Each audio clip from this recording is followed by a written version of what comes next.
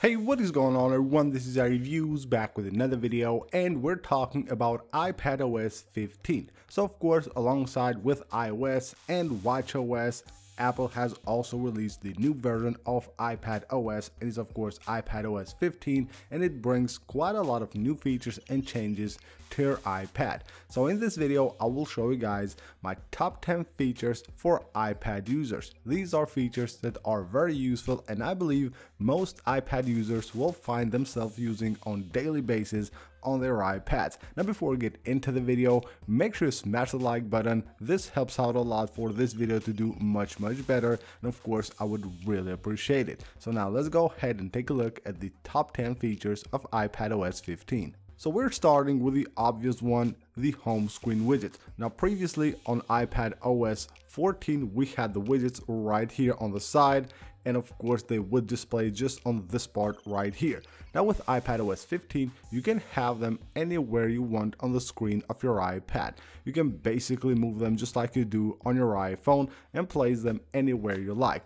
Now another great feature is that you can have like a different layout. Here I can have this one right here on the landscape mode and I can move it around on the portrait mode and then of course it will change position as you change between the landscape mode and the portrait mode and that's really awesome. Now of course there are a bunch of like new widgets that have been added, but most of these have been on iPadOS 14 as well, but now you will be able to place them anywhere you want on the home screen of your iPad as requested by many users of iPad since iPadOS 14 was released alongside with iOS 14 which got the new app library and iPadOS didn't. Now the new app library has been brought to iPadOS 15 and it's quite good. I really love especially this animation that shows right there when you pop up the app library from the dock of your iPad.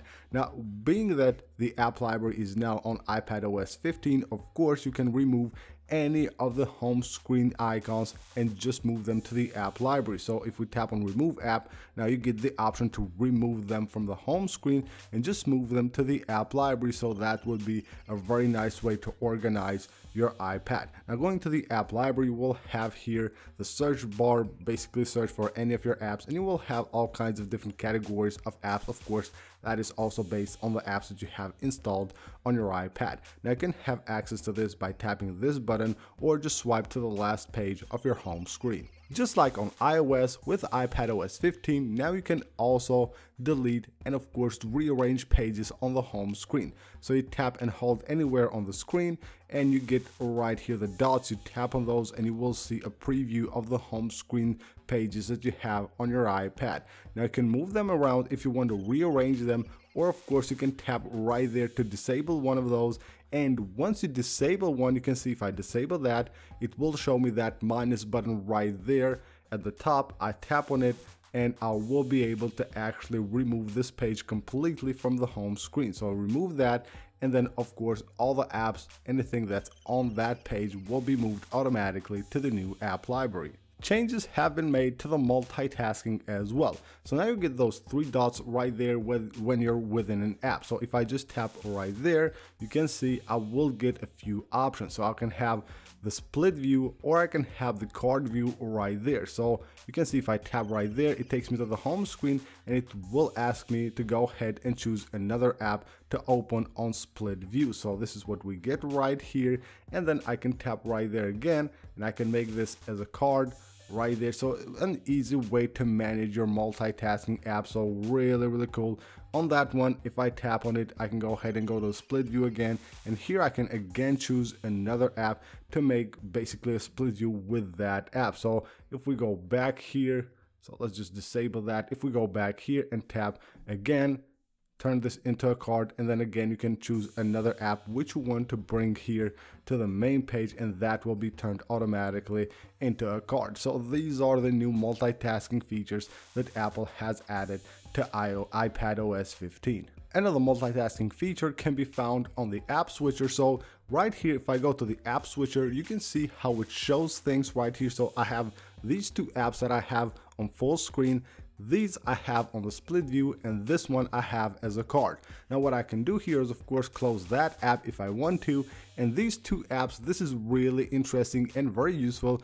If I have these two on the split view when I want to close this I don't have to close both of them I can just swipe one of them up and of course the other one will go on the full screen mode. There is also the new Quick Note feature. Now it allows you to quickly take a note anywhere from your iPad simply by swiping up from the corner right here. It will pop up right here, this like compact view of the Note app. You can go ahead and add any link that you might have in handy right here. So just like that, I can add that link that I had open in Safari in the background.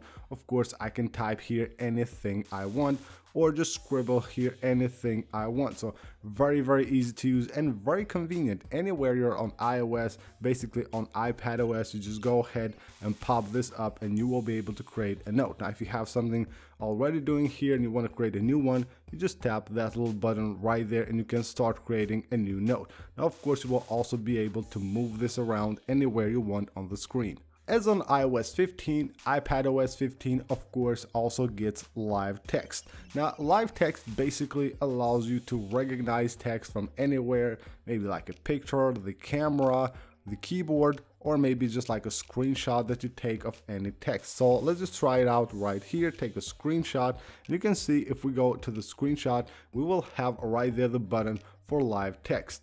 Tapping right there on that button will select any text that it recognizes right here on this screenshot and of course I can go ahead and copy this text and use it anywhere I want.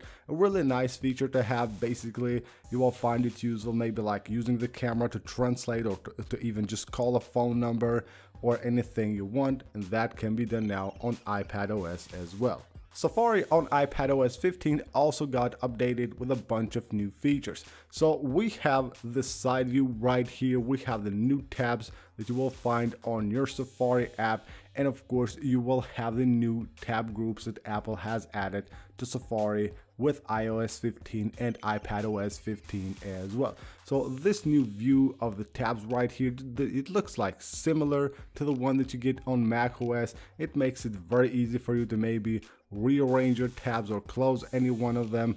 Very convenient to have them. And if you tap right there you will be able to actually access your downloads from here if you have any downloads going on at the moment. So a few nice changes. It looks really good much better of course than on ios even though we have a bigger screen here.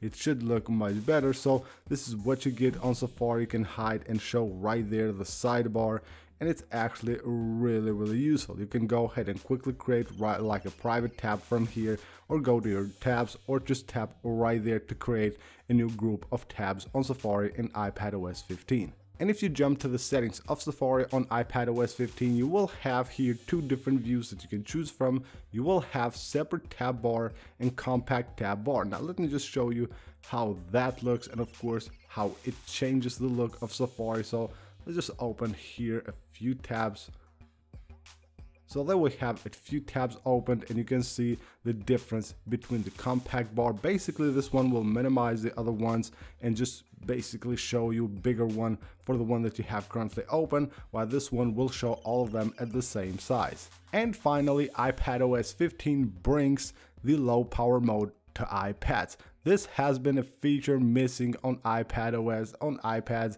in general, since it once it was released on iOS, now it's finally here. Now I can enable it by going simply to settings, you will have the battery right here that will have low power mode. Now when you install iPadOS 15, you won't get it on the control center so make sure you go ahead go to settings go to control center and you add low power mode by simply tapping that button now you have right there a button to quickly turn on low power mode on your iPad a new feature on iPadOS is called Shelves. Now this one is really interesting. It works on apps like maybe Pages or email.